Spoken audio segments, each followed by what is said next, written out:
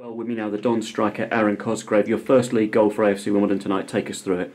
Yeah, so I think Chiz could have played me, but he had the shot, it deflected, it's come to me on my left foot, and I just, you know, back to the training ground, just put it across goal, and luckily, hopefully, it went in.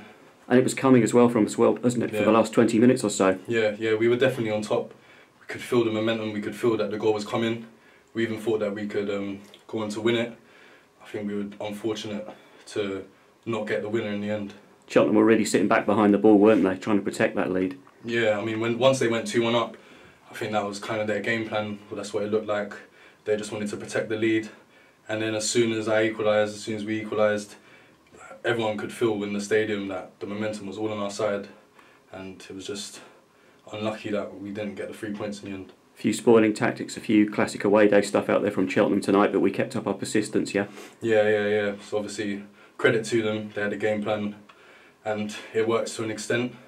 Um, we just had to play our game, and we knew that, like I said, we knew that um, if we continued to play our game, we'd get at least a point. We deserved the three points, but credit to Cheltenham in the first half, going ahead.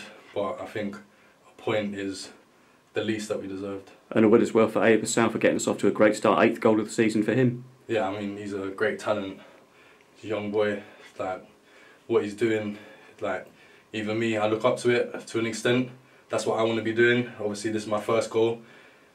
I want to be getting as many goals as him, and most of all, like helping the team. Don's fans as well appreciated that performance tonight, didn't they? I think that they can see that what we're trying to do out there. Yeah, yeah, yeah. Like we could, the crowd were behind us throughout the whole game. Like the momentum that we could feel. You know, it's like having a 12th man.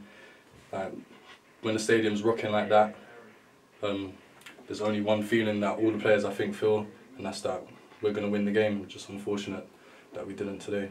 Good stuff, Aaron. Congratulations tonight. Thank you, thank you.